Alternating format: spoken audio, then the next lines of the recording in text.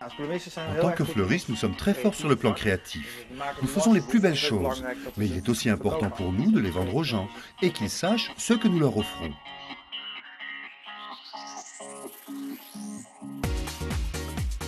Le premier contact avec le client, c'est votre décor extérieur.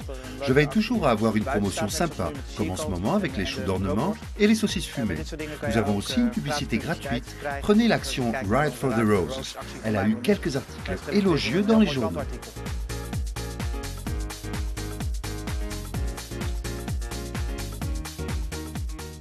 Je n'ai pas trop de plantes en magasin, mais j'essaie d'avoir toujours la plante d'intérieur du mois.